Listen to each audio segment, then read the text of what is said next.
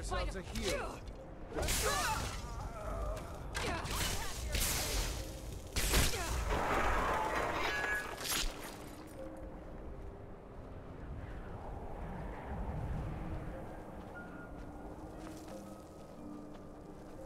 Be careful!